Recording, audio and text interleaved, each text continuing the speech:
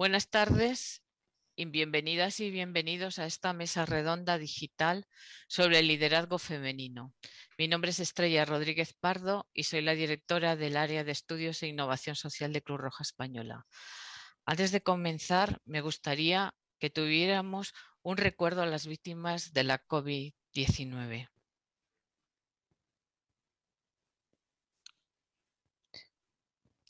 La directora de ONU Mujeres ha invitado a las personas que se unan a la celebración del 8 de marzo con un enfoque en el liderazgo de las mujeres en este tiempo de crisis. En este sentido, hemos decidido celebrar el 8 de marzo con una mesa redonda, más bien con un diálogo, entre mujeres del mundo de la cultura, la empresa y de Cruz Roja, para hablar del liderazgo femenino, de los motivos por lo que es urgente que las mujeres accedan a puestos de responsabilidad tradicionalmente ocupados por hombres y de las barreras que se encuentran. La crisis socioeconómica y sanitaria generada por la pandemia ha tenido un, un, impacto desigual en hombres y mujeres, reforzando los roles de género y, suponiendo otra vez, como en cada crisis, un retroceso en los derechos sociales alcanzados. Un reciente estudio de la London School of Economics evidencia que en familias con hijos durante la pandemia, trabajar desde casa o buscar un trabajo ha sido más fácil para los padres del estudio que para las madres.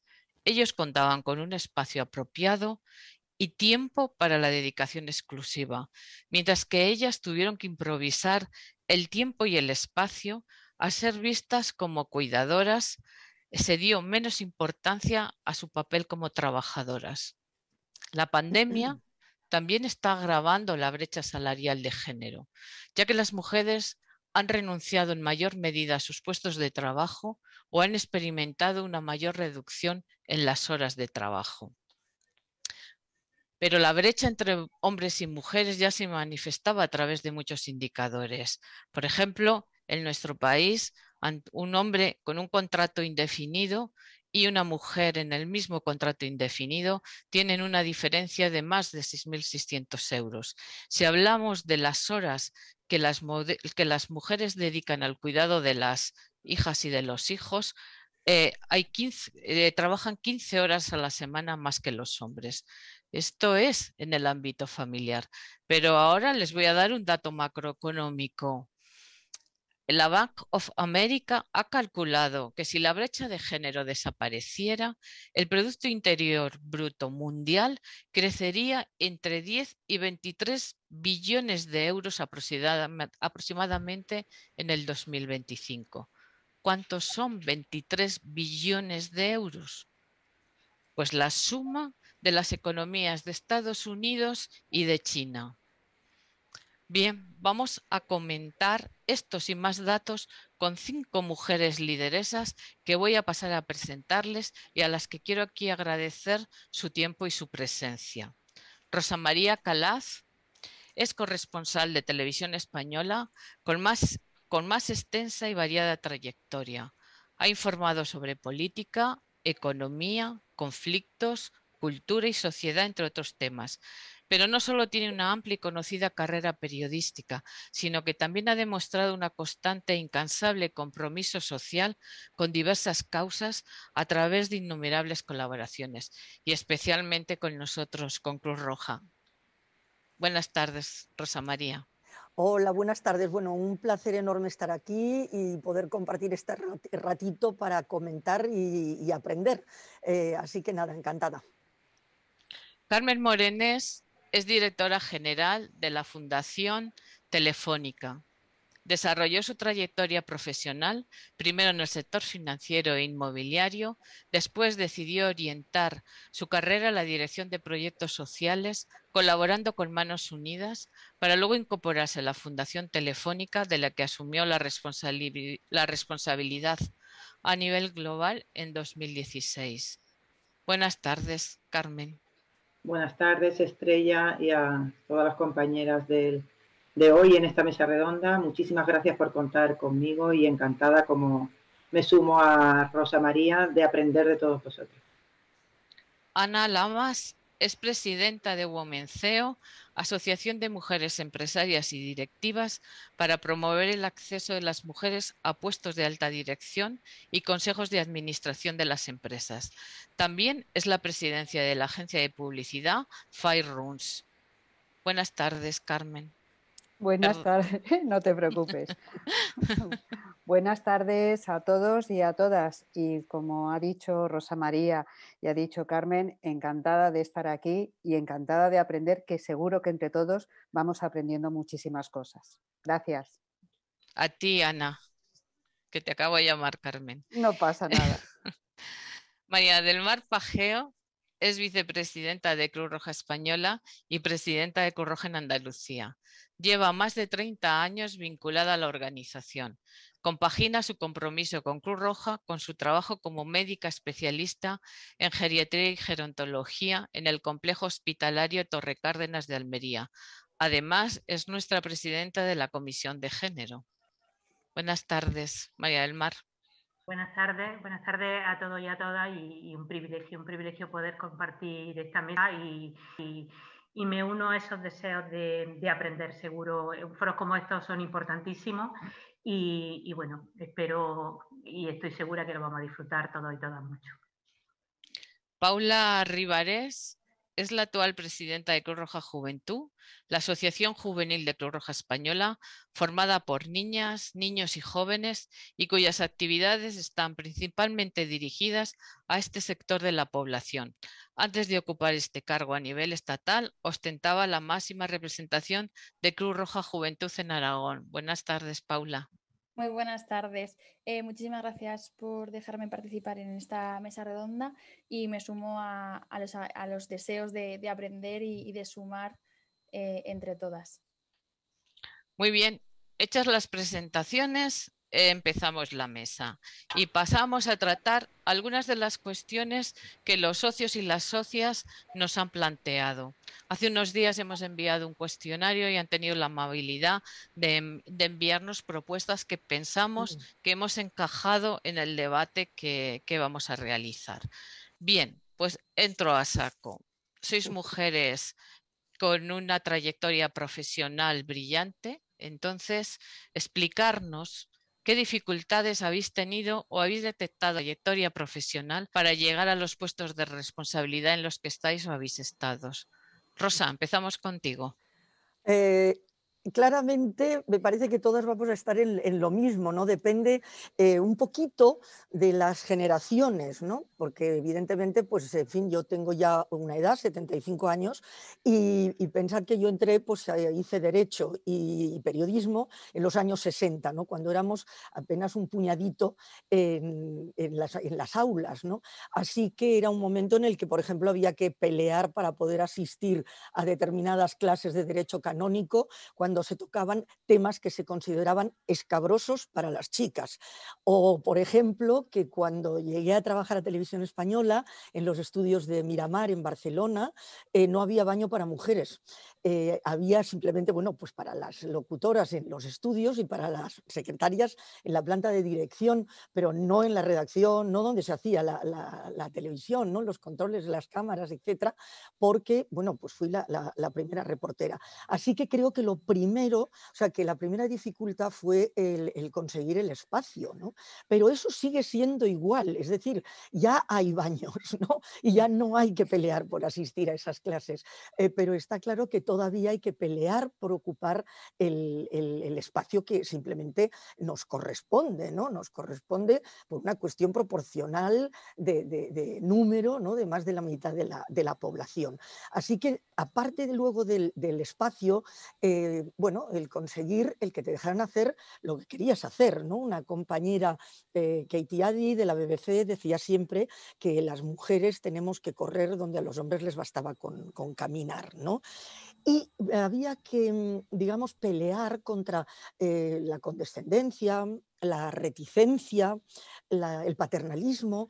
Eh, yo tengo que decir, porque si no sería injusto, que en televisión española nunca encontré un rechazo frontal, ¿no? ni de la jerarquía ni por parte de mis compañeros, salvo casos muy, muy puntuales. ¿no? Pero sí que flotaba en el ambiente, eh, pues eso que, os digo, ¿no? el ganar continuamente y el demostrar, que se, el conseguir que se reconociera tu capacidad, porque eh, la capacidad, pues a las mujeres no se nos presupone. ¿no? Y esa, esa permanencia que todavía, todavía hoy hay que seguir haciendo ¿no? para, para seguir demostrando que eres capaz de hacer eso que quieres hacer, es naturalmente una dificultad y un, gasto de energía obviamente añadido. ¿no? Y luego además, o sea, lo de participar en la vida profesional en las mismas condiciones que los hombres, aunque no te comportes como ellos. Y esa es otra de las peleas, ¿no? porque parece que hay que igualarse para, que, para lograr llegar hay que hacer lo mismo y precisamente el valor está en la diferencia y en, la complementariedad. ¿no? Y esa es otra cuestión que cuesta mucho. Y el conseguir que la valoración de tu trabajo eh, sea la misma y, con esto acabo ya. Eh, por ejemplo, pues eh, yo me oía decir, y todavía pues te lo oyes decir a veces, pero cuando yo empecé era absolutamente siempre, cuando decían, oye, he visto tu crónica, tu reportaje, estabas muy guapa. ¿No? O cuando, por ejemplo, estabas cubriendo pues una situación extrema de conflicto, vulnerabilidad, lo que fuera, complicado, te decían, ah, tú aquí y tus hijos en casa. Comentarios que jamás oí aplicados ni dirigidos a ninguno de mis compañeros. Entonces creo que estos fueron los rasgos generales de, de, mis barreras. Y que creo que, ya digo, que probablemente muchas de las que estáis escuchando pues coincidiréis conmigo, ¿no? Me ha encantado lo de correr y caminar. Carmen, ¿cuál es tu experiencia? Bueno, en realidad yo tengo que decir que mi experiencia personal, como decía Rosa María, eh, va en generaciones. Yo quizás soy la siguiente en esta mesa y tanto a nivel mm, familiar y del entorno, eh, yo ya eh, pues eh, viví una situación ciertamente diferente. Yo estudié económicas en Madrid, en la Complutense, ya probablemente la mitad de los alumnos estaban, eran mujeres. y en mi vida profesional he tenido la suerte de encontrarme en entornos y contextos donde no he encontrado una dificultad personalmente en cuanto a mi carrera profesional.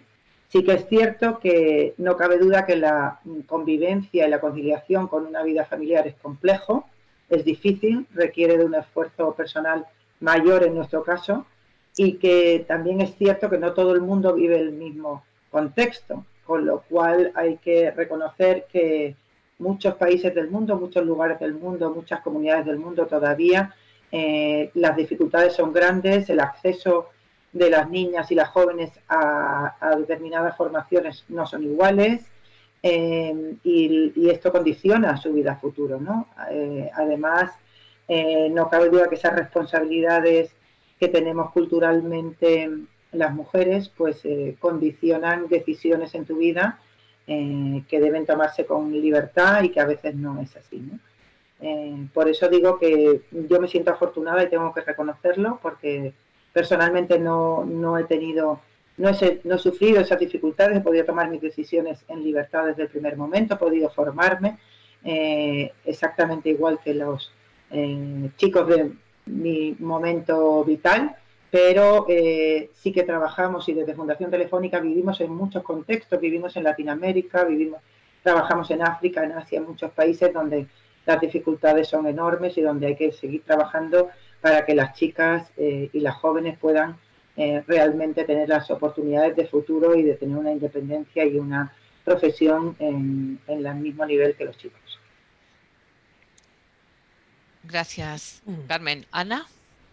Pues yo os tengo que contar, eh, yo mi vida profesional no me encontré con ningún problema eh, porque yo vamos, trabajo y sigo trabajando en, el mundo de las agencias de publicidad, que se supone que es un mundo muy abierto, eh, que es un mundo open-minded, y ahí fue cuando yo me encontré eh, con el tema de mi maternidad, con mi segunda maternidad, fue cuando yo me encontré ahí con los primeros problemas.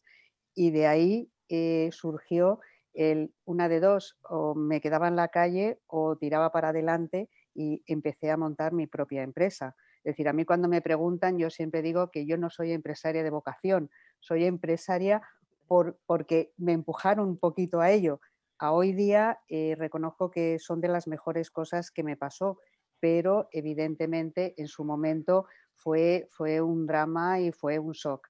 Yo no me lo esperaba, debo confesaros la verdad, eh, porque no me había encontrado, no me lo había encontrado ni cuando estaba estudiando la carrera, ni cuando empecé mi vida profesional, no me había encontrado con ninguna traba.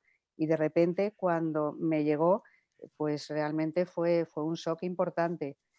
Eh, cuando te pasan estas cosas, lo único que puedes hacer es pensar, decidir y hacer.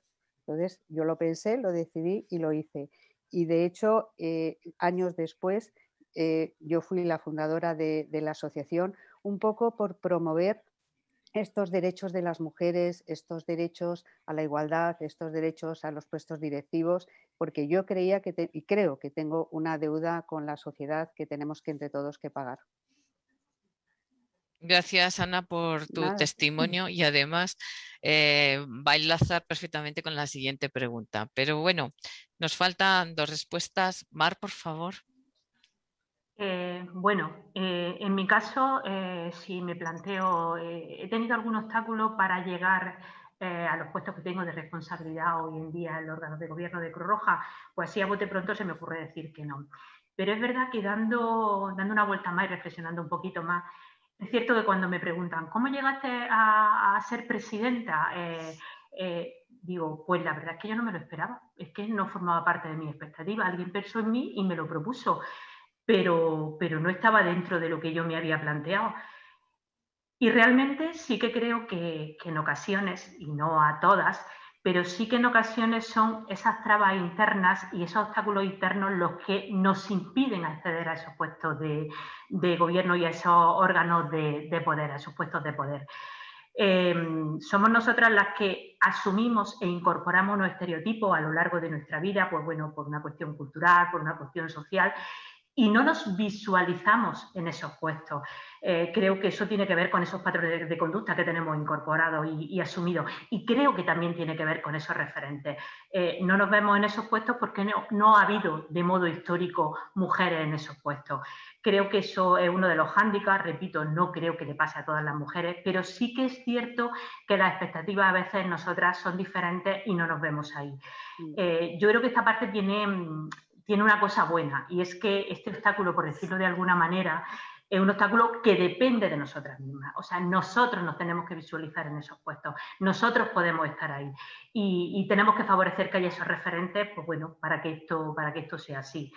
Eh, por otra parte, mm, decir que, eh, como ha comentado antes Estrella, yo soy médico, trabajo en un hospital y, en esa parte, la verdad es que no he tenido ningún obstáculo, eh, no he tenido ningún obstáculo en mi profesión. Sí que es cierto que mm, en el momento de que tuve a mi hija y de mi, maternidad, sí que di un pasito al lado, un pasito al lado en disminuir mi carga laboral para dedicarme a la labor de cuidado. Luego me incorporé y, y me incorporé al mismo puesto, pero eso también puede ser un hándicap, como ha comentado antes la compañera.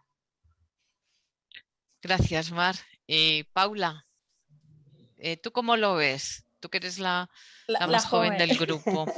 Sí, al final yo también creo que sí que es un cambio cultural, ¿no? Y que estamos intentándolo mejorar ese cambio, ¿no? Pero sí que quería hacer relevancia a un dato que quizás Estrella no, ha comentado, ¿no? Estrella Rodríguez fue la primera presidenta de Cruz Roja Juventud y 30 años después el liderazgo femenino ha vuelto porque, porque estoy aquí yo, ¿no? Y entonces, bueno, al final Cruz Roja trabaja en esa transformación, ¿no? De, de valores y de una, sociedad igual y al final yo creo que es un ejemplo eh, de, de, lo que refleja la sociedad, ¿no? que el liderazgo y, en, equipos de, dirección cueste un poco más el hecho de que las mujeres estemos. ¿no? Yo creo que todavía quedan muchos mucho camino por delante, que, los, eh, que no hay referencias eh, femeninas, ¿no? Y cuando yo pienso en referencias femeninas, sí que es verdad que pienso en Concepción Arenal, que, que fue un ejemplo para Cruz Roja en España, que fue la primera secretaria general, ¿no? que estuvo en los años 70, que fue un referente para muchas mujeres y que, dio ese toque de eh, más femenino durante toda esta trayectoria hasta llegar aquí, o por ejemplo incluso María del Mar, ¿no? que es un referente para muchas de las mujeres que estamos en los órganos de gobierno en, esa representatividad como vicepresidenta de Cruz Roja, ¿no? Es un ejemplo a seguir todas estas personas. Creo que todavía, o cuando hablo de, cómo han sido las dificultades que yo he tenido como mujer, al final soy una mujer joven y que estamos en un cambio de, sociedad y que tenemos que hacer más políticas de igualdad y más perspectiva de género en todos los órganos de gobierno, ya no solo de, esta institución, sino al final de la sociedad, porque al final creo que es importante eh, mantenernos eh, unidas y seguir caminando para que haya una transformación de valores dentro de la sociedad. Gracias, Paula. Así se ha enterado todo el mundo, más o menos, de la edad que tengo. tenía que decirlo, tenía que decirlo. Gracias. Eh, y, con respecto a Concepción Arenal, tienes razón. Nos hemos enterado hace como cinco años que fue una figura importante en la creación de la Cruz Roja, imagínate, y que dirigió parte de la institución. Eh, tiene que ver con la invisibilidad de las mujeres mm. que ha pasado a lo largo de la historia, ¿no? Pero bueno, no, no me voy a ir de, de guion porque el siguiente también lo ha planteado muchas, muchas socias que han escrito y planteaban si la maternidad penaliza la carrera profesional. Es decir, en España el 70% de las mujeres se encuentran con impedimentos para desarrollar su carrera profesional tras la maternidad, según un estudio realizado por Forética, es decir, por el Consejo Empresarial Español para el Desarrollo Sostenible. Según este mismo estudio, el 90,6 de las excedencias por cuidado de familiares son solicitados por mujeres. Y de 100 mujeres, 17 no desarrollan su carrera profesional debido a la maternidad. ¿Qué pensáis? ¿Pensáis que faltan medidas? ¿Que hay que abordar eh, nuevas, nuevas medidas legislativas, nuevas políticas? tiene que ver, como antes insinuabais también o comentabais, con, con esa autoexclusión de las mujeres, pero es importante abordar este tema. Mar, Mariam, por favor. Ahora empiezas tú. Sí, sí, sí, sí. Efectivamente, Estrella, el, tema de los cuidados y de la corresponsabilidad está en la base eh, de gran parte de las dificultades de la mujer para, acceder a esos puestos de, alto nivel y de, liderazgo. Eh, yo creo que debe de haber medidas proactivas a todos los niveles sociales. Creo que es un tema social y es un tema individual de mujeres y de hombres. Eh, pero sí que quiero yo ponderar, seguro que mis compañeras hablan en otro sentido, pero sí que quiero mm, ponderar y decir que hay una altísima responsabilidad eh, en eso por parte de las empresas y por parte de las instituciones. Las empresas y las instituciones tienen que incorporar esas estrategias de género eh, dentro de sus dinámicas de funcionamiento, tienen que formar parte de su cultura. Eh, sabemos que era, eh, y además mm, está legislado, tiene que haber plan de igualdad en todas las empresas que tengan más de 50 personas en plantilla. Esos planes de igualdad son fundamentales, fundamentales porque hacen un diagnóstico de las brechas que existen en esas empresas y además permiten abordarlas con, una estrategia, con una estrategia de género que favorezca la corresponsabilidad. Hay que ser proactivos porque es verdad que la corresponsabilidad en las tareas de casa es algo íntimo que está en los hogares, pero tiene que sacarse de la casa a la calle y tiene que sacarse a la expresa y, hacerlo y poner en marcha medidas que la favorezcan y que, y que, bueno, que no den lugar a esas cifras que han dado, ha dado cuando hablaba, como a, la mujer nos penaliza el que seamos el soporte, eh, ya no solo la maternidad, sino el soporte de cuidados de pequeños, de mayores, de dependientes. Mm. Creo que la empresa tiene una altísima responsabilidad de poner en marcha todas estas mm. Ana. Pues Por cierto, no, perdóname, no he dicho nada. Podéis completar eh, respuestas de otras compañeras. Estoy tratando de seguir un orden porque sabéis que este medio está sujeto a un tiempo determinado y no es como cuando estamos físicamente. Pero si alguna de vosotras necesita contestar o responder o le inspira la pregunta de la otra compañera, podéis hacerlo. Ana. Vale, yo estoy de acuerdo con Mar. Eh, las empresas tienen que hacer planes de igualdad, pero yo creo que se ha dado un buen paso adelante eh, a nivel el propio gobierno cuando ha igualado las bajas de paternidad con las bajas de maternidad. yo me parece que ha sido uno de los grandes pasos que se han dado para, para igualar y para que la maternidad no pese tanto eh, dentro de las compañías, porque evidentemente si, antes te preguntaban, y a mí me han preguntado, eh, ¿piensas tener hijos? Y seguían preguntándolo, ahora da lo mismo, porque las bajas están igualadas tanto de los padres como de las madres. A mí me parece que ese es un buen paso. Otro paso que creo que también es importante es, primero, los planes de igualdad, que sí, que se, que se hacen, pero que de verdad que se pongan en marcha, es el siguiente tema. Es decir, es, el papel lo aguanta todo y yo creo que hacer un plan de igualdad es muy fácil, realmente llevarlo a cabo eh, no siempre es tan fácil para, depende de qué tipos de compañías. Entonces yo, yo ahí creo que tiene que haber un gran compromiso de las empresas para de verdad hacerlo, para de verdad eh, intentar que haya mujeres o que haya una paridad de, las mujeres eh, dentro de las compañías. Y sobre todo, yo creo que también hay otro tema muy importante y somos nosotras mismas nosotras mismas porque yo os contaba antes, eh, yo tuve un problema con, la maternidad y a mí eso no me tiró para atrás, no me tiró para atrás. Yo no digo que nos tenga que tirar ni para detrás ni para adelante, pero yo creo que también eh, nosotras eh, tenemos nuestra, nuestra propia fuerza y que también sepamos sacarla adelante, sepamos sacarla adelante y sepamos sacar lo mejor también de nosotras mismas. Gracias, eh, Rosa María.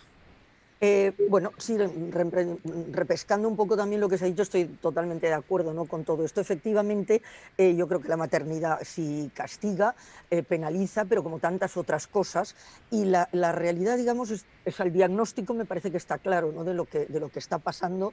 Y además tenemos las estadísticas, porque el hecho de que unas u otras hayamos tenido más o menos dificultades para avanzar, para, para conseguir, en fin, los lugares, pero bueno, mm, esto está ahí, pero la realidad es que, hay unas cifras, unas estadísticas que muestran que los espacios de decisión, los espacios de, en el caso del periodismo, también, por ejemplo, de opinión, eh, etcétera, pues las mujeres están en un déficit tremendo. Se ha avanzado extraordinariamente desde cuando yo empecé a la, actualidad, pero sin ninguna duda pues eh, no se ha llegado en absoluto ni siquiera cerca de lo que sería lo, lógico. Y en lo demás pues eh, también, ¿no? ya habéis ido mencionando pues todos estos casos, estas situaciones y estos datos que, indican que hay claramente ¿no? todavía una serie de, enormes, de enormes dificultades, pero ya no solo porque, como decía eh, Carmen Morens al principio, ¿no? ya no solo es hablando, porque parece siempre que hablemos de, un, de una realidad, de un feminismo hegemónico, ¿no? de mujer eh, sintetizando, sea blanca, educada, urbana y, del, del, entorno, digamos, de lo que consideramos la, comunidad eh, occidental. ¿no? Eh, y no es así, o sea, es decir, que realmente la, lucha y, el derecho ¿no? a esa igualdad, pues hay que verla en transversal y, viendo todas las características. Es decir, que tiene, tiene, en lo que afecta a todas las mujeres por el hecho de, ser mujeres en su cotidianidad, ¿no? desde, desde, en, todo, en todos los sentidos. Bueno, dicho esto, pues eh, me parece que efectivamente penaliza, pero la pregunta, claro, ya está, es decir, para encontrar el tratamiento, al diagnóstico, de la, enfermedad es saber por qué, ¿no? Y entonces el por qué, pues es evidente también, eh, y ha quedado claro muchas de las cosas que habéis dicho, de, es porque estamos inmersos todavía en este sistema de, un modelo androcéntrico, de visión masculina del, del, mundo, con graves fallos, ¿no? y por tanto no basta con feminizar las leyes, que es muy importante, ¿no? el, marco legal, sin ninguna, sin ninguna duda, ¿no? pero lo importante es la educación para la transformación del imaginario colectivo, porque en realidad muchas veces te das cuenta de que aceptamos una serie de condicionantes no, porque nos parece que son normales cuando realmente no lo son. ¿no? Y yo, bueno, a lo largo de mi experiencia recorriendo el mundo me he dado cuenta de que en esas zonas donde las mujeres son, bueno, tienen unos niveles de discriminación, de opresión, incluso de represión eh, tremenda, ¿no? y donde les va la vida no por defender su, espacio y sus, y sus derechos, pues se les quiere hacer creer que, que, no hay nada que hacer ¿no? y que hay que resignarse eh, a nosotras, es decir, en nuestro entorno, en donde hemos avanzado muchísimo, lo que se nos quiere hacer creer es que no hay que hacer nada, que ya está, ¿no? Que bueno, pues hay que pelear un poco y tal, pero que en realidad, el y no es verdad, o sea, es decir, que hay que tener mucho cuidado con aceptar, ya digo, una serie de, condicionantes, de dificultades, como si fueran eh, eh, normales dentro de una inercia. ¿no? y, realmente, por ejemplo, pues hay muchas trampas, ¿no? Y, el, y ahora en este momento, que la pandemia ya lo habéis mencionado, el, teletrabajo, por ejemplo, ¿no? la conciliación, son evidentemente muy positivos. O sea, y, hay que incorporar a las mujeres al teletrabajo y prepararlas y hacer que, que tengan unos niveles de, competencia, ¿no? En, en, fin, en todo lo que significa la tecnología, pues mm, muy superiores a los que realmente tienen, ¿no? Los referentes son esenciales, eh, etcétera, ¿no? Pero realmente hay que tener mucho cuidado porque ahora que puede acabar pasando lo que ha pasado en otros momentos históricos, ¿no? Que la mujer aprende, teletrabaja y es la que se queda en casa otra vez, ¿no? O sea, es decir, que volvemos a hacer esa discriminación. O sea, y, antes habéis mencionado el ejemplo, ¿no? Y se hizo una encuesta muy interesante, no recuerdo exactamente dónde, pero fueron países nórdicos, y se les preguntaba dónde trabajaba cada uno durante el confinamiento. Y, los hombres tenían su espacio en casa, generalmente un despacho, un rincón, eh, etcétera, y las mujeres decían pues en la cocina, en el comedor, en el cuarto de los niños, moviéndome, dependía de, donde, de donde les pillara. ¿no? Eh, entonces, cuidado con eso. Y la conciliación es lo mismo, la conciliación, las medidas por la conciliación son absolutamente, claro, pues muy positivas, pero en Alemania, países nórdicos, hay ya, o sea, muchos estudios que muestran como de lo que hay que hablar es de corresponsabilidad, que ya se ha mencionado también hace un momento, no de conciliación, porque la conciliación que acaba ocurriendo, que la utilizan mayoritariamente las mujeres y que acaba significando pues menores ascensos, menor progreso en, su carrera laboral, em, frustración eh, y por supuesto, o sea, un despilfarro, un desperdicio, mejor dicho, de eh, talentos, ¿no? de talentos que se pierden. O sea, es decir, que todo esto, eh, pues evidentemente la maternidad está inserta en, este panorama. ¿no? Y, hay unas, y todos estos factores son factores que tenemos que tener extraordinariamente en, cuenta. ¿no? Muchas gracias. Paula. Bueno, eh, yo al final lo veo desde otra perspectiva, ¿no? porque al final actualmente no, tengo hijos y no sé si algún día los tendré, ¿no? Porque al final ahora mismo estoy dedicada a, mi vida profesional, ¿no? Al, estudiar, al hacerme valer y al final creo que, tengo esa dificultad de que me estoy acercando a los 30 años, ¿no? Y que de repente digo, ¡Oh! seré madre, no lo seré, podré serlo, ¿qué, qué será de, esa, de, ese proyecto vital? Igual quizás vital, igual quizás me dedico a otras cuestiones o, algo, ¿no? Entonces, cuando hablamos de, de la conciliación o de la maternidad, para una persona joven, o en este caso para mí, creo que, que es muy difícil decidir o tengo que decidir sobre, sobre si elijo mi vida personal o mi vida profesional en estos momentos, porque al final se me exige como o lo que las competencias que tengo que, que, que tengo que, que, dedicar un tanto por ciento a esta vida profesional y no sé si en algún momento podré tener esa parte más personal ¿no? y dedicarme. De hecho, mis padres muchas veces me dicen, céntrate en tu vida personal, que también tienes que, que poder tenerla, ¿no? Entonces, lejos, o eso que se o eso que se exige ahora mismo a la juventud, ¿no? Las competencias estén que están saliendo ahora mismo porque llevamos años trabajándolas, todo el tema del liderazgo femenino, todo el tema de, de competencias en las que tenemos que estar y que, y que al final ese esfuerzo tiene que estar equilibrado con una vida personal, ya no solo sea conciliación, sino de pareja, de entorno familiar y de amistades.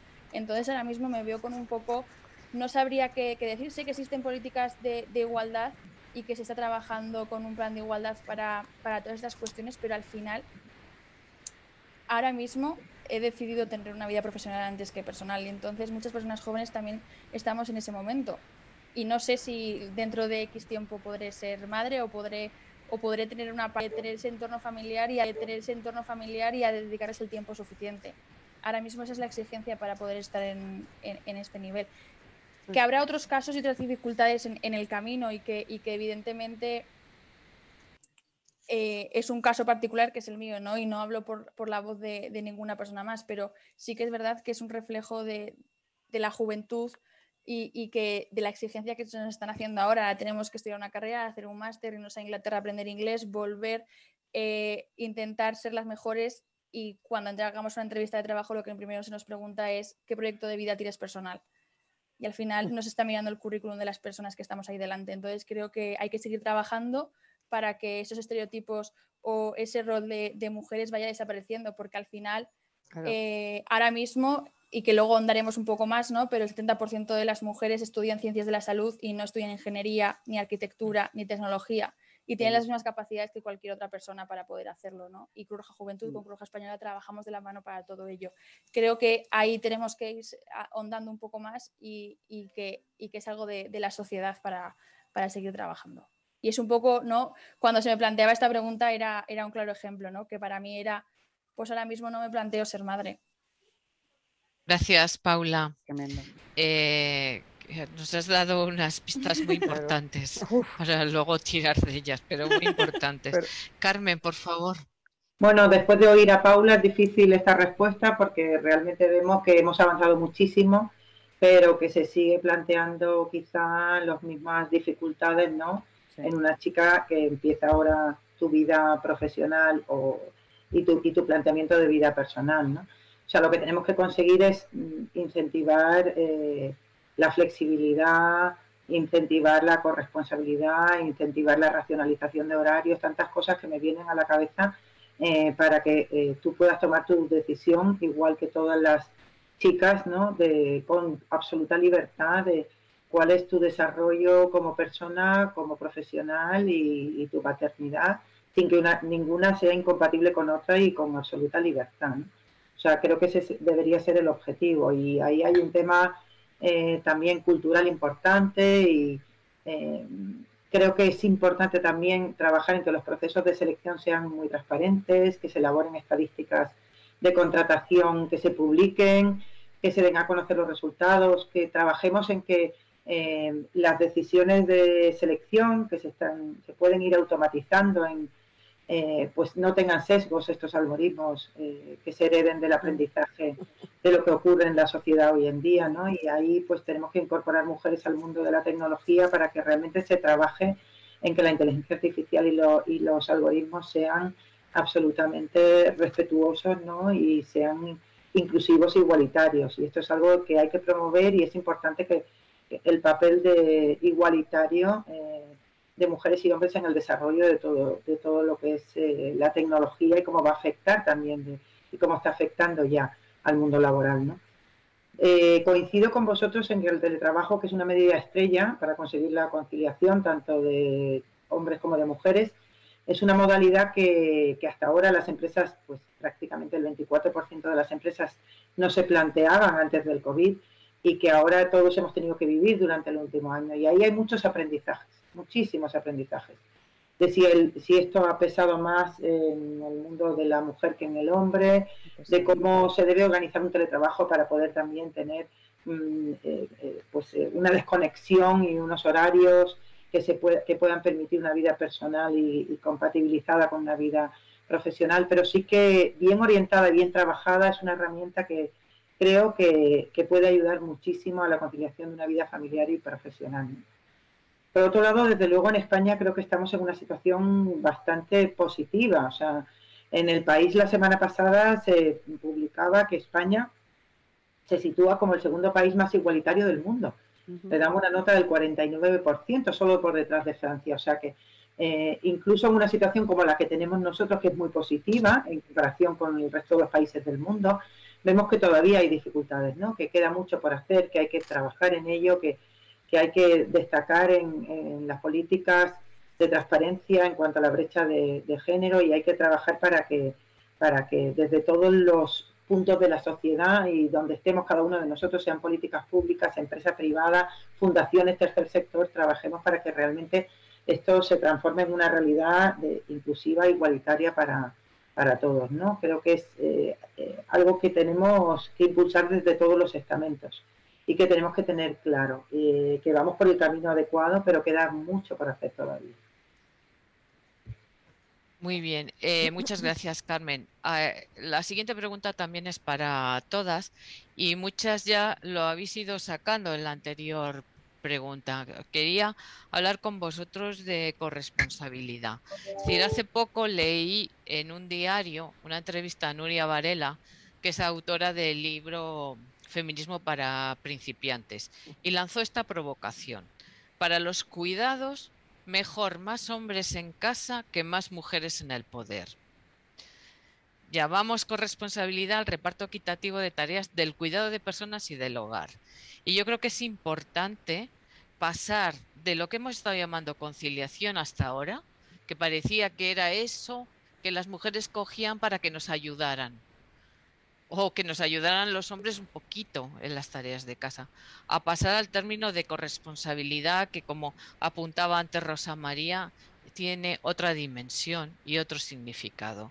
Entonces, eh, ¿cómo podíamos implicar a, a nuestras parejas, a los hombres, para que sean corresponsables, para tener otro sentido de la masculinidad, de la paternidad y de los cuidados. Paula.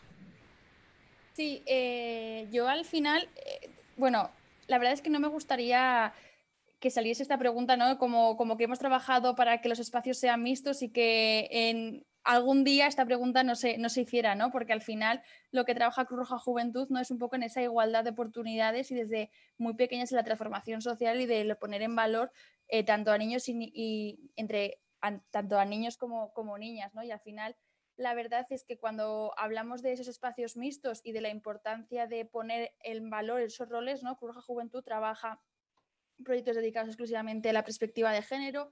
Estábamos en más de 90 centros escolares trabajando sobre esa temática, ¿no? Y lo que hablamos y ahondamos es, es eso, ¿no? En qué rol tiene que tener un hombre y una mujer y cómo tenemos que trabajar en equipo para esta sociedad, ¿no? Entonces, eh, Cruz Juventud, ¿no? Siempre digo que trabaja para responder a esta pregunta y que nunca, nunca salga más esa pregunta de qué espacio ocupa un hombre y qué espacio ocupa una mujer. Si trabajamos la perspectiva de género desde edades muy tempranas, que es lo que hace Cruz Roja Juventud, esta pregunta no se tendría que realizar porque al final la sociedad y estaremos transformando esa sociedad en esos valores de igualdad de oportunidades, de igualdad de género y de, y de que al final una niña o un niño tiene el mismo valor que en cualquier momento.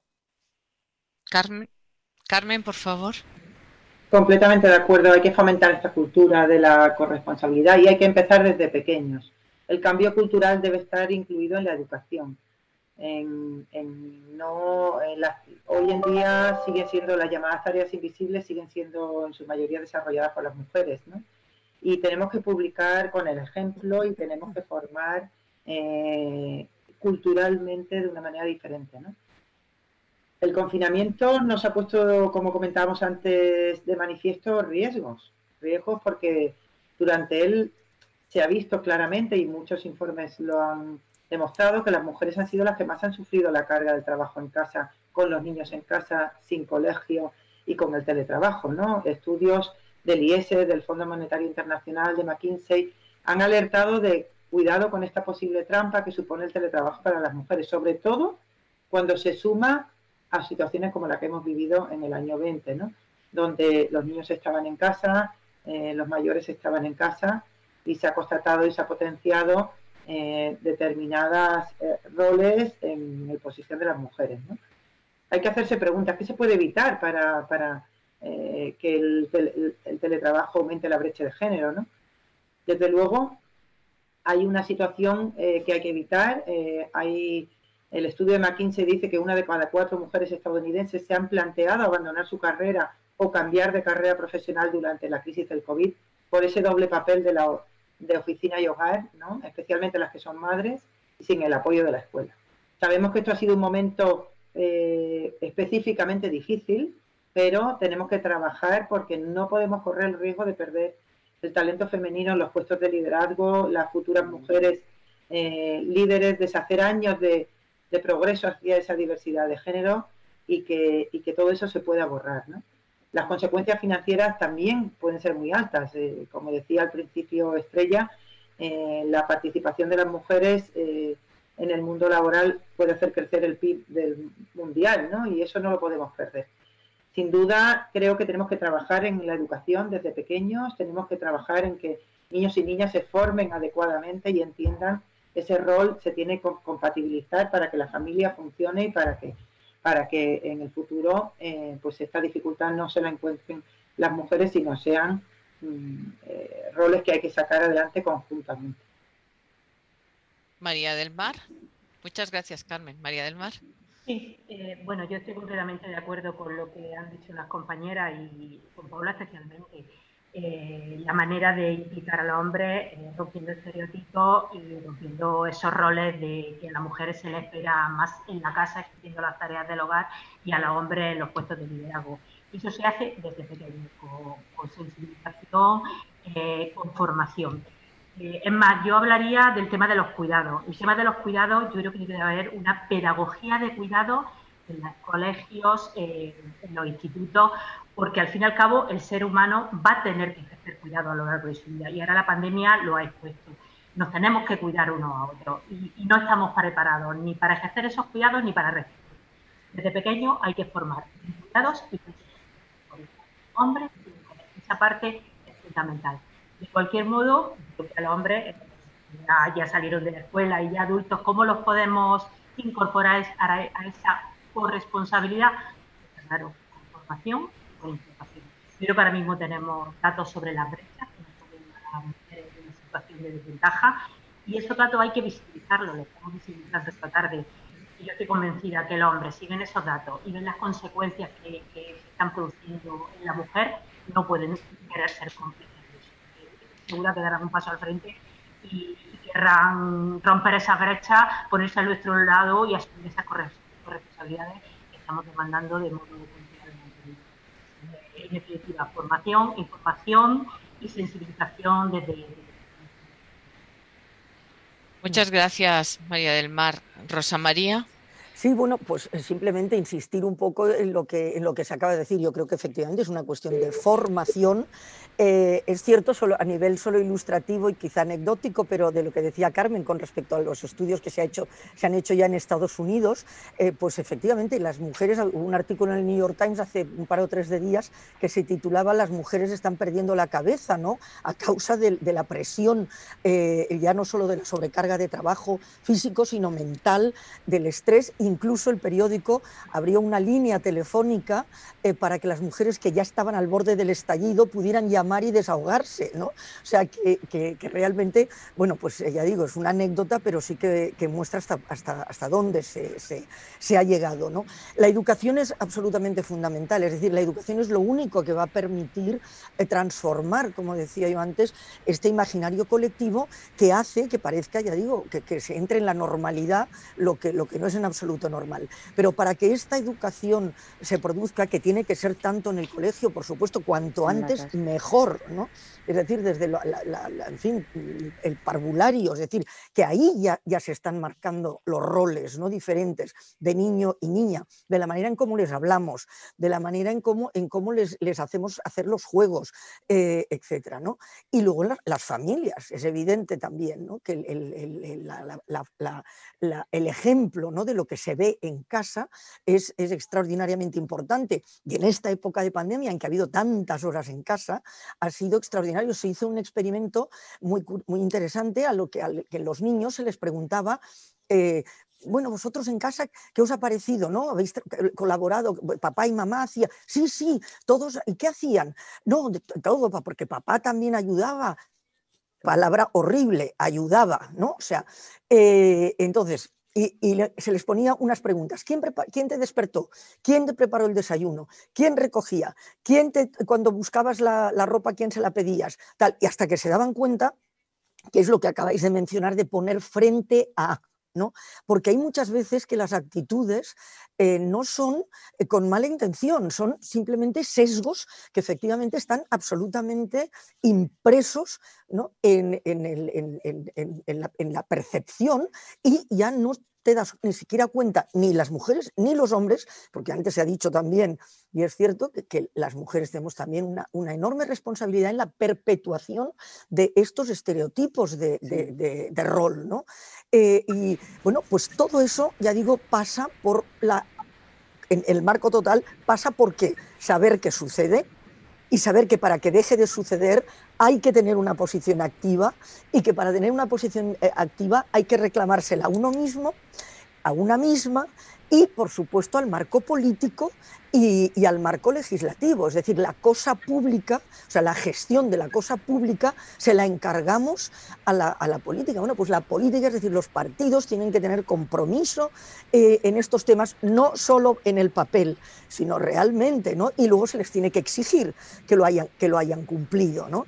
Eh, y no solo estar muy contentas cuando tenemos muchas mujeres representando los intereses de las mujeres, sino que lo que hay que conseguir es que haya muchos hombres representando los intereses de todos, es decir, de las mujeres y de los hombres.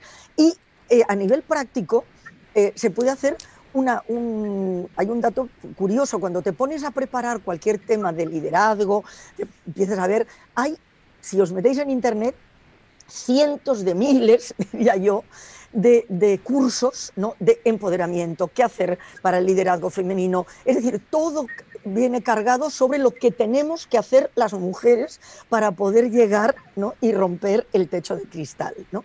¿Cuántos cursos hay para preparar a los hombres y contarles lo importante que es para ellos también es decir, para construir una sociedad mejor, el, como decía Carmen antes, contar con el talento de todos y de todas, ¿no? Poquísimos cursos, poquísimos.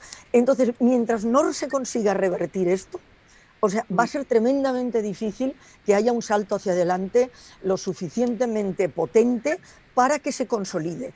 Porque termino simplemente diciendo, yo en los años 60 ya andaba con esta pelea, ¿no? Cuando nadie todavía, sobre todo aquí, hablaba de, perspectiva de género, etc. ¿no? Yo soy generación del 68, en fin, todo eso, ¿no? Y nunca pensé que en pleno siglo XXI tendría que estar todavía, todavía hablando y defendiendo y explicando lo que es la lucha feminista, ¿no? que es una lucha por derechos, nada más, que no es contra nadie. ¿no?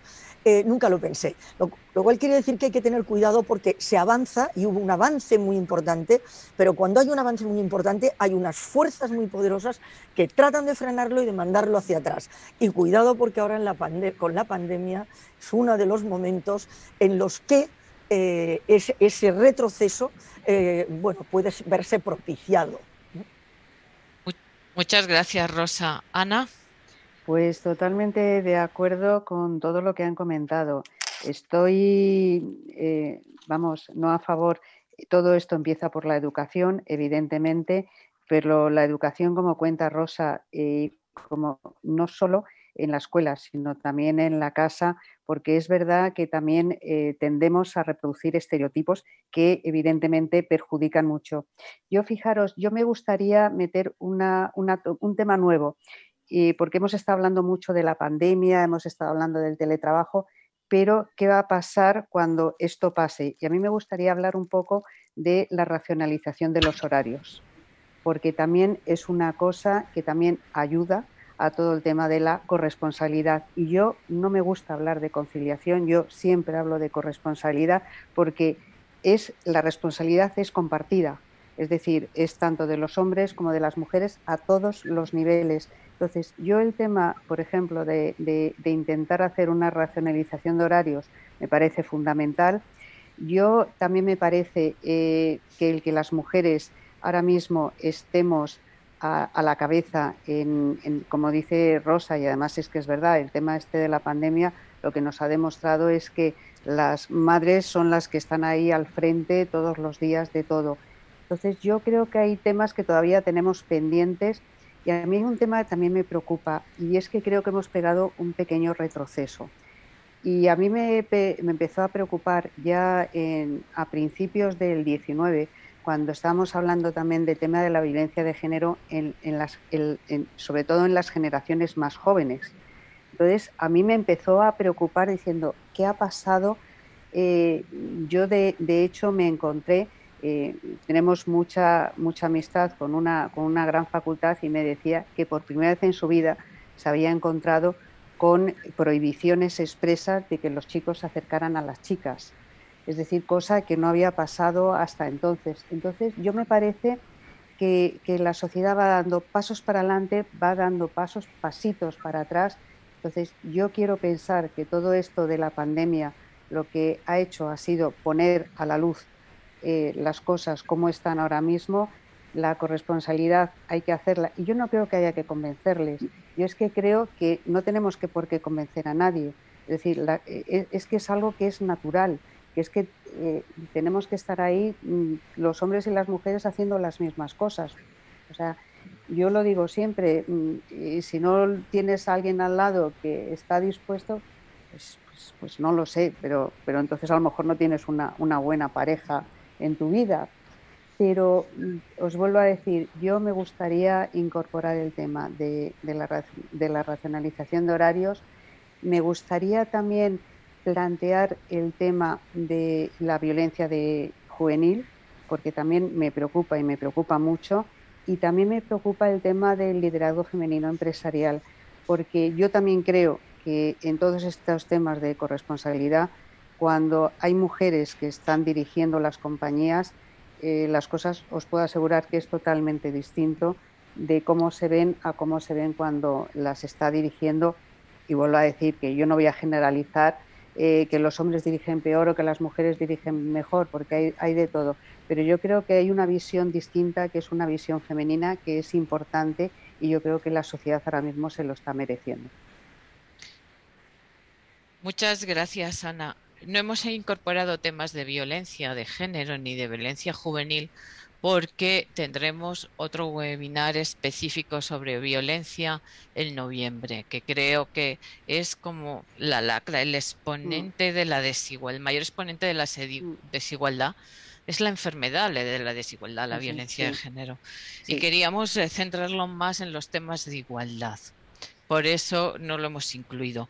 Recogemos la racionalización de los horarios, que me parece muy importante, y en cuanto al liderazgo femenino empresarial, eh, te va a tocar, no te preocupes. Ahora iniciamos una tanda de preguntas individuales.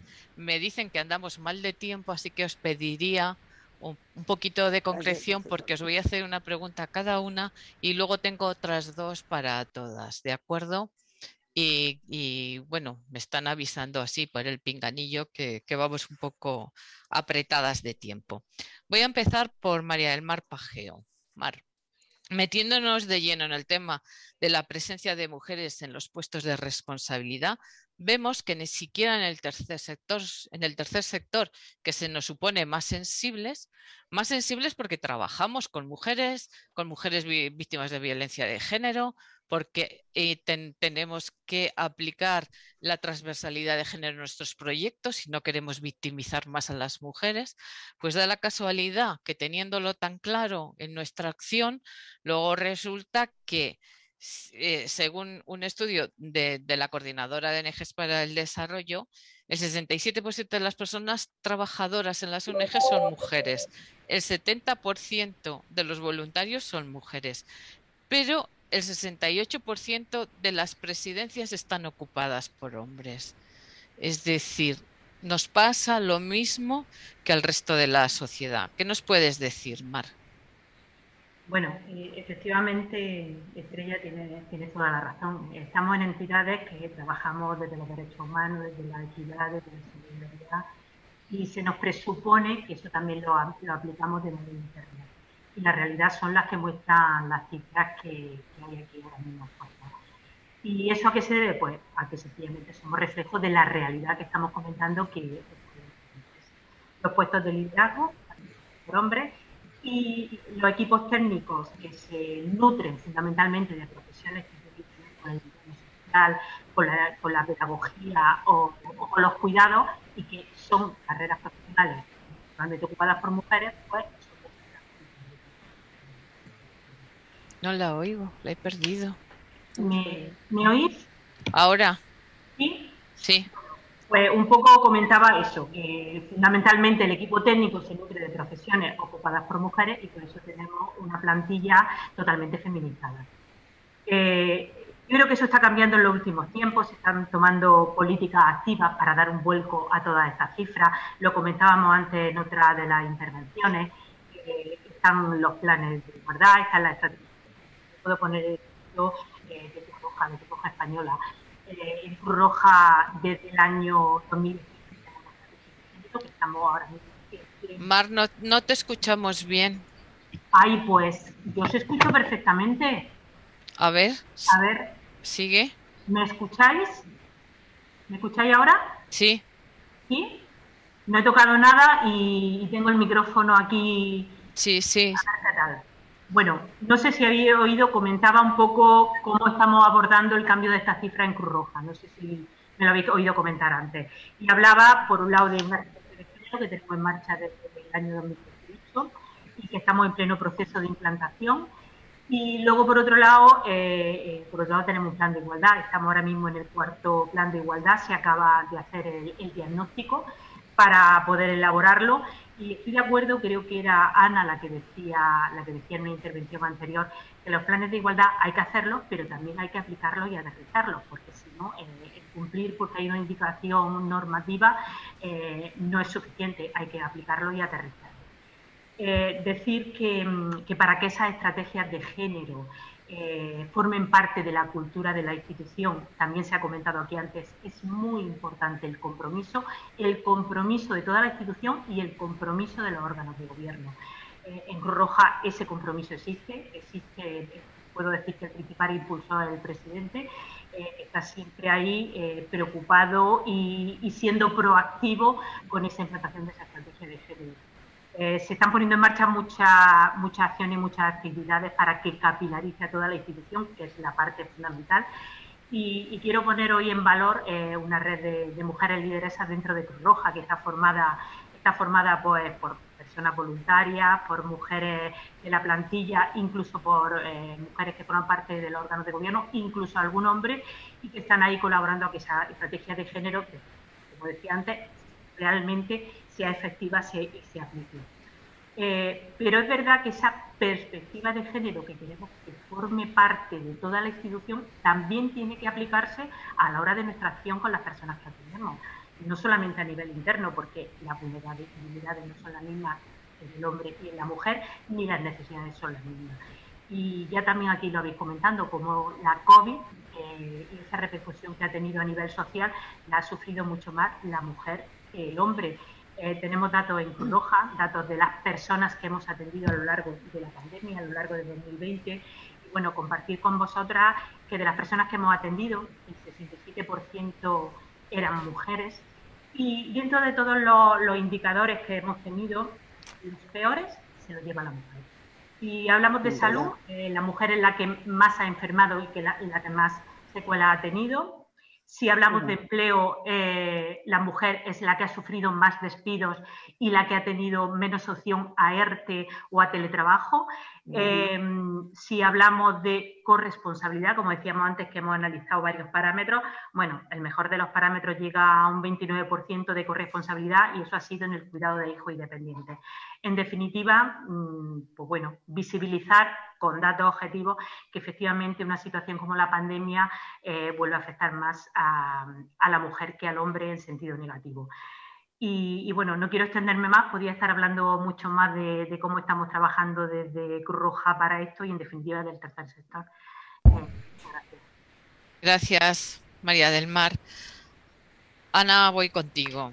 En cuanto al mundo empresarial, ha habido un crecimiento muy positivo en los últimos años en cuanto a la presencia de mujeres en consejos de administración.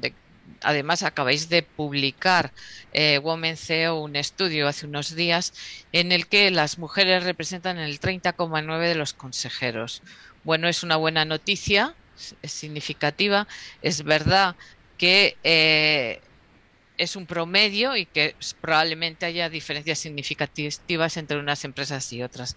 Pero hay un dato también que me parece muy interesante y es que el 42,4 de las pymes son creadas y dirigidas por mujeres. Esto me parece un dato muy importante porque eh, demuestra el dinamismo de las mujeres cuando dependen de sí mismas, ¿no?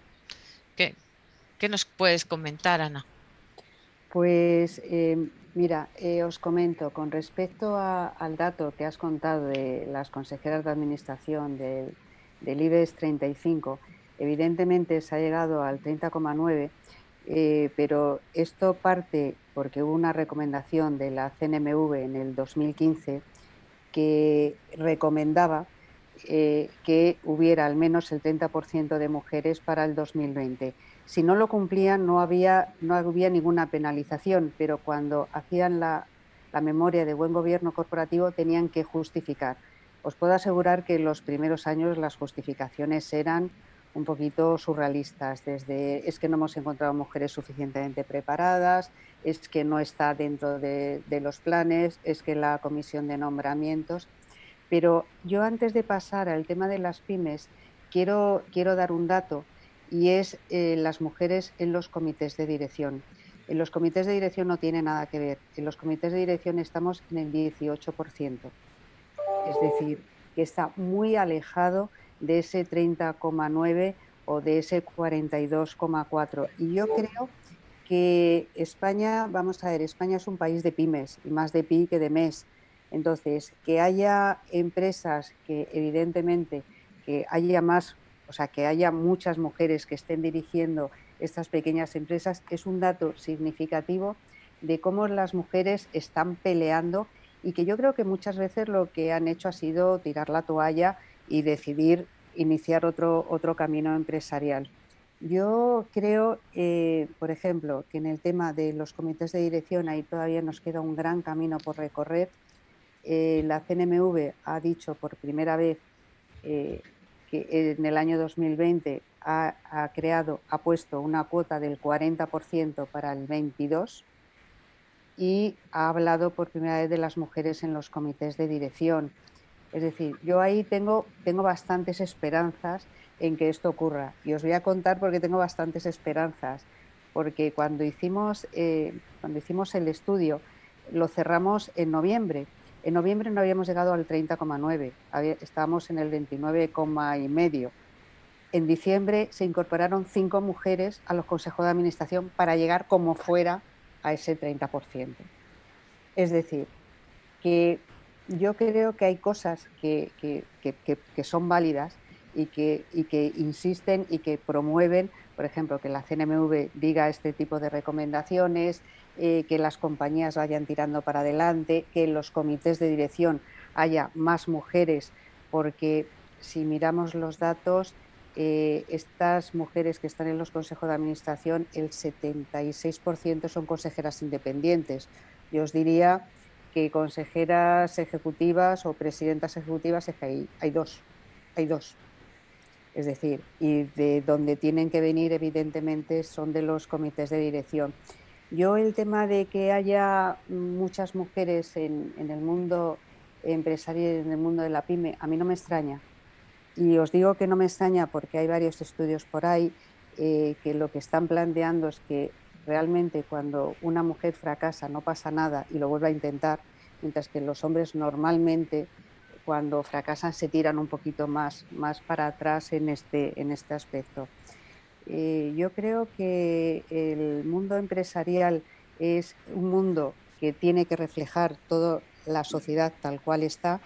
La sociedad no se puede permitir perder el talento del 51% de la población porque realmente sería una sociedad tetrapléjica. Cuando no te funciona la mitad del cuerpo, pues realmente no, no estás funcionando bien. Entonces yo creo que, que, las propias empresas son un reflejo de, de, la sociedad y también hay que, hay que luchar por esta, por esta igualdad. Muchas gracias. No me, he alargado, no me he alargado mucho, ¿verdad, no, no, Estrella? No, no. No os preocupéis que además vamos a, a, a reducir un poquito al final porque hay una de las preguntas que os iba a hacer que está saliendo ya y entonces vamos a ganar tiempo al final. Ahora vamos con, con Carmen. El futuro del empleo plantea un reto muy importante en cuanto a la digitalización. Es, es, previsible que este proceso destruya algunos empleos, transforme otros y cree otros nuevos, incluso que ni conocemos ni nos imaginamos. Según el estudio Mujeres en la Era Digital publicado por la Comisión Europea en 2018, las mujeres solo suponen el 21,5% de las personas que realizan trabajos digitales. Carmen, ¿podrías decirnos cuáles son las cifras en España y qué repercusiones tiene esta brecha para las mujeres? También nos gustaría que nos comentaras qué se está haciendo para reducirla, tú que trabajas en ello. Bueno, eh, la brecha digital de género en España se ha ido reduciendo progresivamente, pasando de 8 puntos a 1 del 2012 al 2020. Pero lo que sí es cierto es que eh, esto no está ocurriendo tan claramente en cuanto a los la formación y los itinerarios formativos en competencias digitales, las carreras, la participación en carreras STEM y el uso de Internet. La brecha de género, además, en el sector tecnológico mm, reviste especial gravedad por varias razones que me gustaría destacar. En primer lugar, porque sin duda la industria tecnológica es la que más empleo neto va a crear en los próximos años y generará además puestos de trabajo mejor remunerados y no solo eso, sino que en todos los sectores se va a necesitar formación digital para poder continuar con tu vida profesional o poder acceder a eh, el mercado laboral. En segundo lugar, eh, hay una cuestión también de no solo de romper la brecha del mercado laboral, sino también la necesidad de que en el mundo digital se eliminen los sesgos de género en el desarrollo de las propias herramientas, en el desarrollo de la inteligencia artificial y de los algoritmos que redundan en contra de la evolución positiva del futuro de la humanidad. Y esto solo se puede trabajar teniendo eh, equipos eh, multidisciplinares, equipos diversos, que sean los que mm, realmente hagan estos desarrollos. Y en tercer lugar, porque mm, la mujer debe ser la palanca de recuperación económica y puede serla eh, y social después de la pandemia. Se hace eh, partiendo de informes elaborados por varios expertos, señalan que ahora puede haber una grandísima oportunidad en reducir esa brecha de género y hacerlo eh, tanto en la tasa de empleo como en la tasa de empleos a, tiempo parcial. Eh, esto podría llevar incluso a aumentar el PIB, como decíamos, el PIB en España un 16% según los datos que ofrece Closing Gap, que agrupa más de una decena de empresas e instituciones.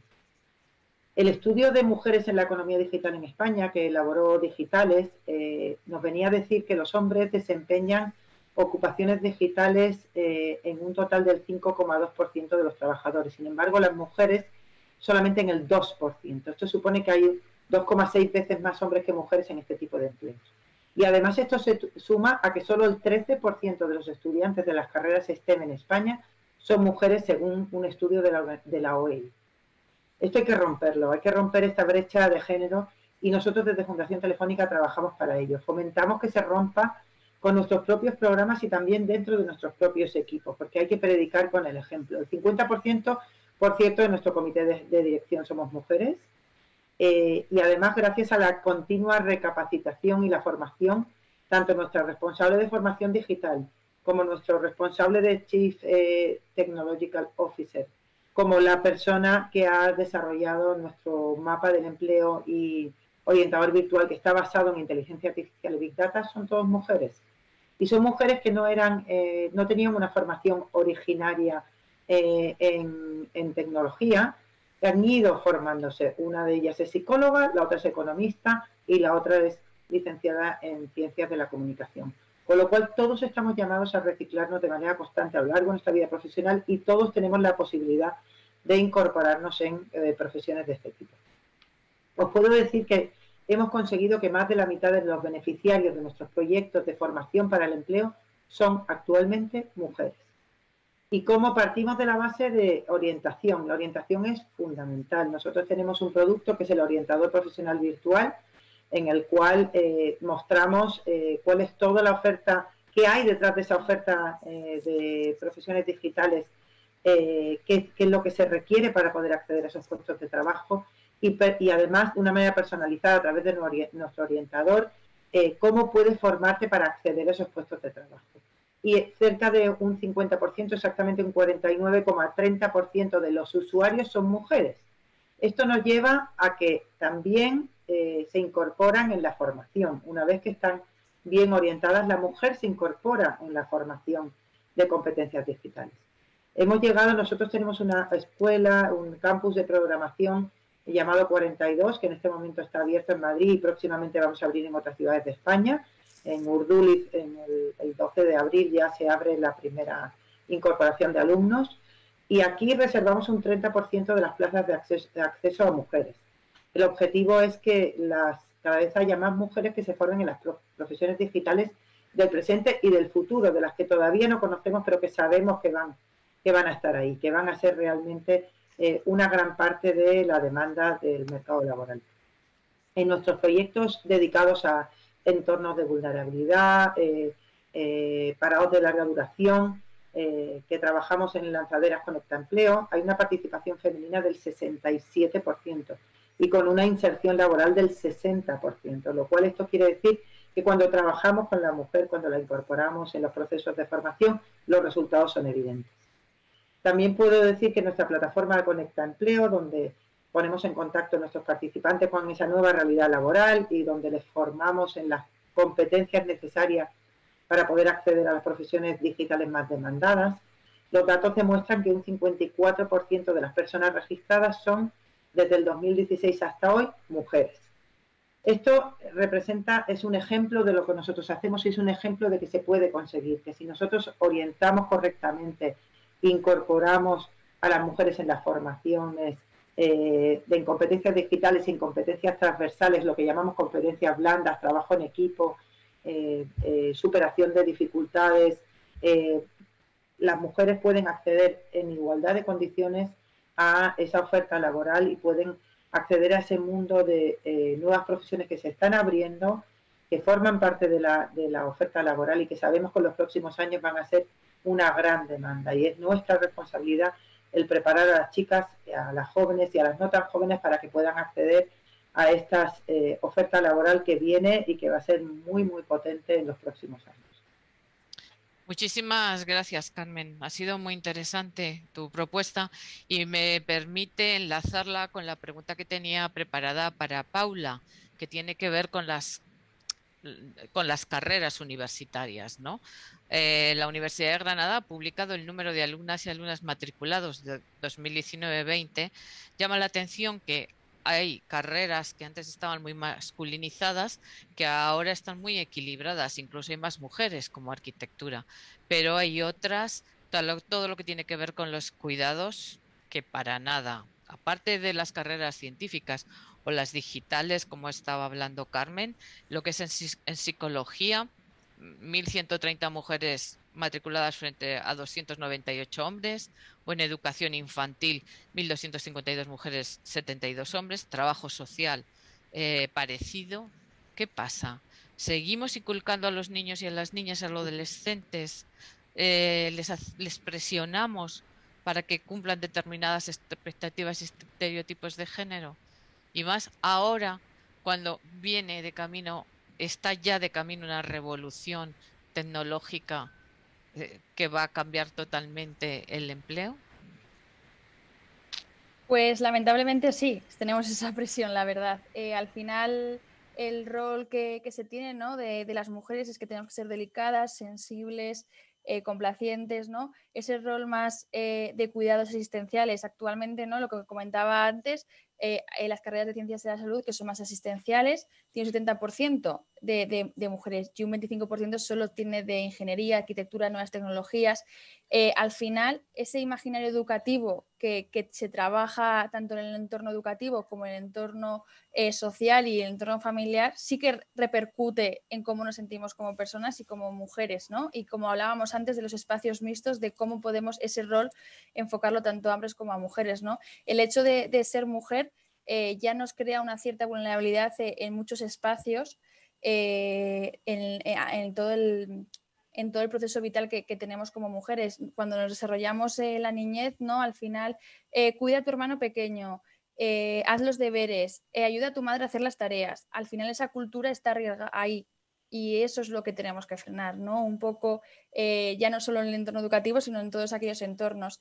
Eh, Cruz Roja Juventud, de la mano de Cruz Roja Española, trabaja un poco en todas estas cuestiones. Nosotros tenemos una campaña que se llama el juguete educativo, que habla de juguetes nuevos, no sexistas, no bélicos, que actualmente atendemos a más de 50.000 niños y niñas de vulnerabilidad, pero que hablamos con esas familias y con esos entornos para explicarles ¿no? la importancia del juego y la importancia de que no sean juegos sexistas. ¿no? Al final siempre parece que tenemos que ver en la televisión que una niña tiene que llevar un carro y un niño tiene que estar en un taller, ¿no? Al final, ese es el modo desde la sensibilización y prevención eh, que actuamos en los colegios. O, por ejemplo, el mismo hecho de, esas, tenemos otro proyecto que se llama el Fly and Challenge, ¿no? que habla que estamos en segundo de la ESO y en tercero de la ESO, en colegios e institutos, ah, hablando sobre las competencias STEM y la importancia del talento femenino en nuestras carreras que quizás están más invisibilizadas. ¿no? La orientación profesional al final también es un ejemplo a seguir. Yo estudié terapia ocupacional y me estudié terapia ocupacional porque llevo desde los 14 años en Cruz Roja Juventud y al final fue como cómo puedo ayudar a las personas. ¿no? Eh, terapia ocupacional fue, fue mi carrera por, por, excelencia, pero quizás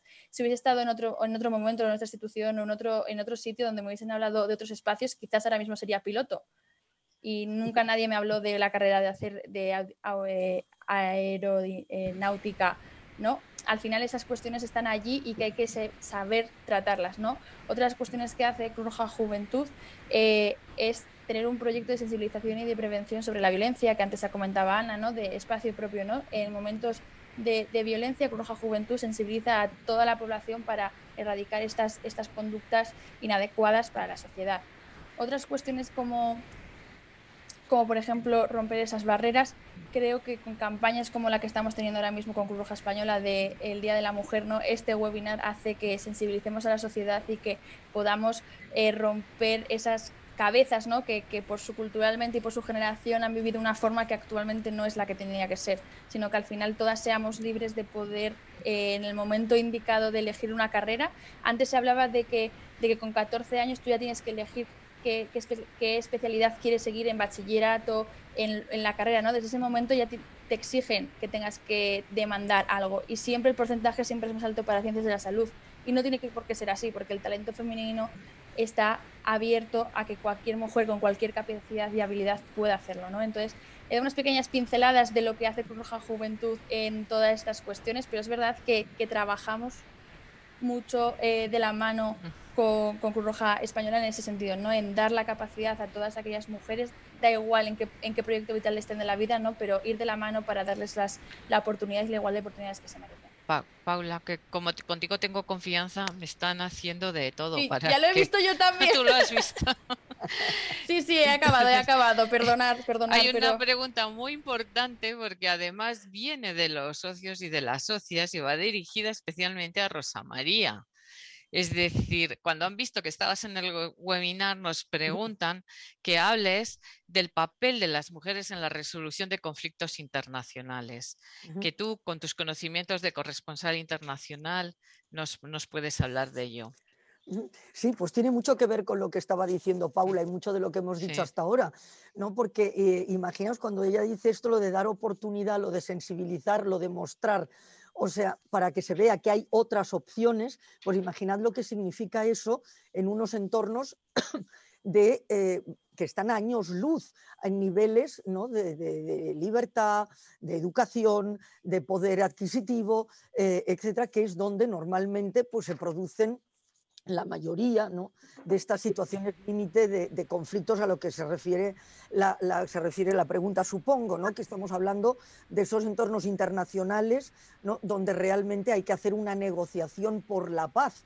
¿no? Nosotros afortunadamente vivimos en un entorno en que esto ya hace mucho tiempo pues, que, no se tiene que hacer, aunque la paz social también requiere mucha negociación. ¿no? Pero dicho eso, me, centro en la, en la pregunta. Entonces es esencial. Y esto se ha visto desde hace muchísimo tiempo. O sea, decir que el, integrar en el mismo paquete la idea de mujer, paz y seguridad, o sea, es absolutamente eh, esencial si se quiere avanzar. ¿Por qué? Porque se ha comprobado, y realmente yo he asistido en muchos casos, ¿eh? o sea, que por tanto puedo hablar también en primera persona, eh, se ha comprobado que efectivamente cuando las mujeres participan en estos eh, en estas negociaciones de reconstrucción, de reconciliación después de, situaciones de violencia extrema, eh, situaciones incluso también de catástrofe natural, es decir, situaciones humanas, ¿no? Eh, límite por la razón que sea, en cuanto se las, se las, incorpora, no únicamente como para sacar la foto, sino con una posición activa, hay una, claramente una, mm, un avance, o sea, una mejoría, o sea, una eficacia superior, ¿no? Y entonces ya Naciones Unidas, y voy a ir muy rápido, o sea, pues tiene varias resoluciones, ¿no? Que integran lo que llamaríamos derechos, género y derechos de, la mujer como parte ¿no? de, los, de los procesos de paz, eh, que requiere la inclusión Claro, ¿qué ocurre? Que imaginad lo que es hablar de todos estos temas si nosotros decimos que en nuestro entorno seguimos ¿no? con ese, imaginario colectivo, ese imaginario educativo, ¿no? que cuesta tanto transformar y que cuesta tanto eh, modificar y que todavía sigue funcionando con todos esos estereotipos de que las niñas están aquí y los niños están allí y las niñas sirven para esto y los niños sirven para lo otro, Imaginad lo que es eso en culturas ancladas absolutamente en las tradiciones, en, el patriarcado más feroz, en los fundamentalismos más extremos. ¿no? Entonces es muy complicado, pero eh, se, ha avanzado, se avanzó mucho en un determinado momento eh, en ese aspecto. Hay que decir que a partir del 2016, lamentablemente, ha habido unos ciertos retrocesos ¿eh? en cuanto a la aceptación de esa inclusión de las mujeres y de, de que eh, haya expertos y expertas de género ¿no? que traten de incorporar eh, estos conceptos a las eh, comunidades locales, porque hay que tener muchísimo, muy, muy en cuenta que no es una cuestión de imponer y que jamás se va a progresar en esa transformación si no se parte del convencimiento de la propia comunidad, es decir, de los propios líderes, que son hombres, eh, en, esas comunidades para arrancar con una cierta eficacia y con buenos resultados eh, esas, esas cuestiones. Y hay ahora también en marcha, por ejemplo, en la Unión Europea se aprobó eh, recientemente, vamos, en octubre del año pasado, un manifiesto del Parlamento Europeo en función de la política exterior feminista de la Unión Europea. Es decir, un compromiso para que el 85% de la asistencia eh, internacional esté eh, vinculada.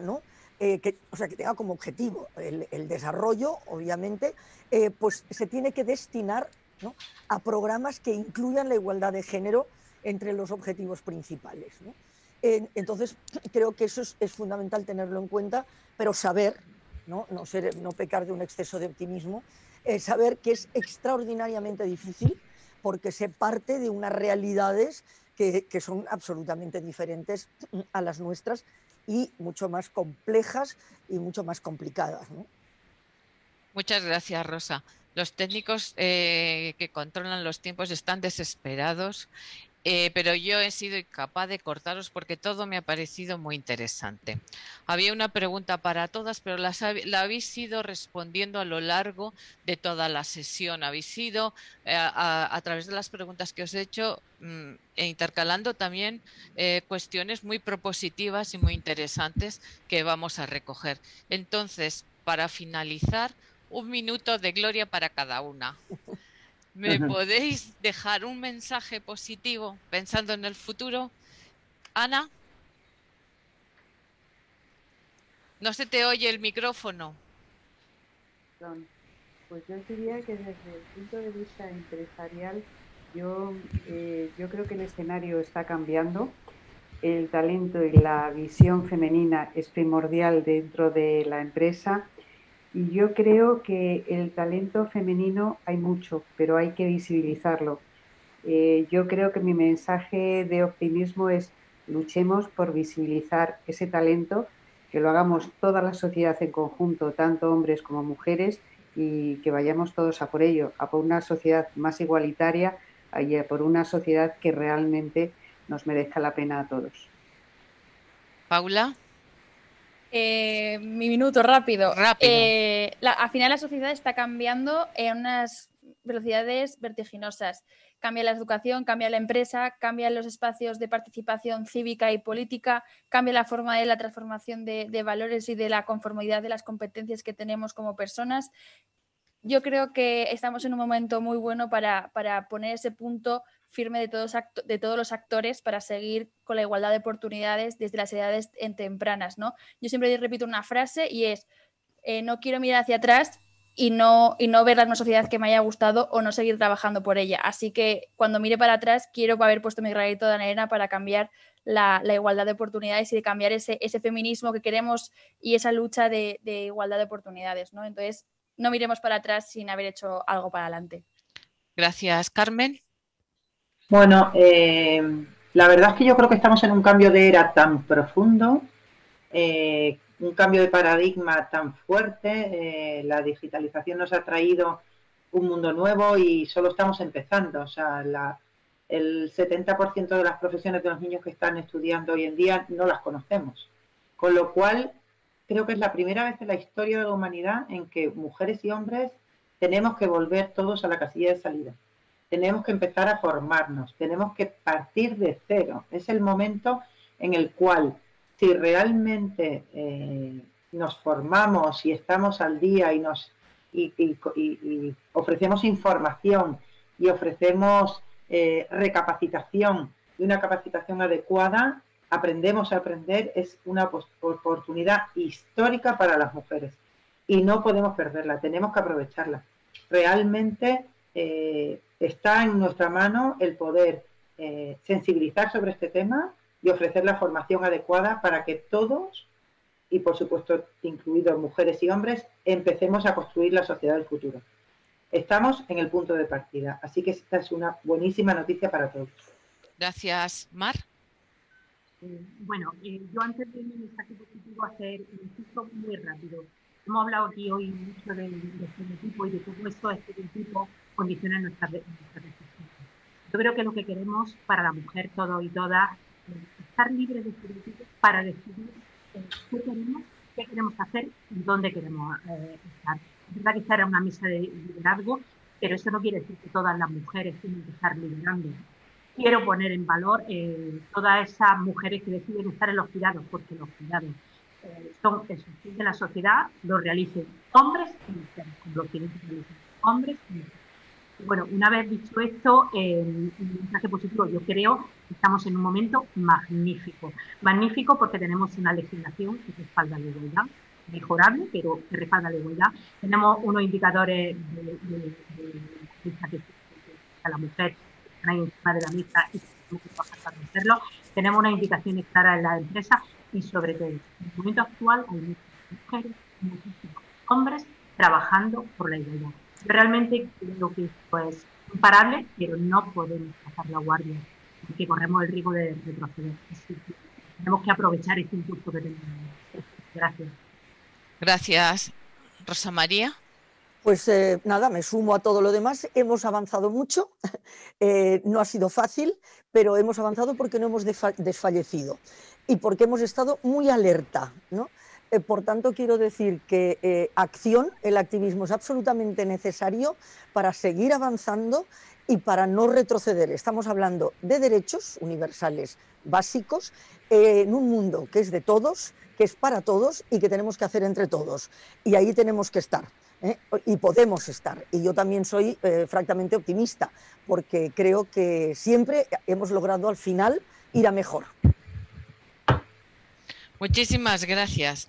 Gracias a Ana, gracias Paula, gracias Carmen, gracias María del Mar, gracias Rosa María por ser mujeres profesionales, comprometidas, solidarias, empáticas, valientes, es decir, mujeres lideresas, que es de lo que estábamos hablando. Quiero agradecer eh, también a todas las personas, socios y socias, que nos han mandado muchísimas preguntas y que por el formato y por el tiempo no hemos podido contestar. Eh, agradecer también a, Noemí, eh, mi compañera de Estudios e Innovación, y a José Miguel del Departamento de Captación de Fondos, eh, que han estado ahí detrás dándonos cobertura técnica. muchas gracias a, a, todas las personas asistentes que nos habéis seguido, especialmente a los socios y las socias y a las empresas que tanto nos apoyan. Y decirles que Cruz Roja tenemos el firme compromiso de trabajar para la igualdad efectiva entre hombres y mujeres y vamos a seguir en ese empeño. Un abrazo. Muchas gracias. Gracias. Muchas gracias, Estrella. Muchísimas gracias, a, todos. Gracias, gracias a todos. Adiós. Ha sido un placer. Gracias.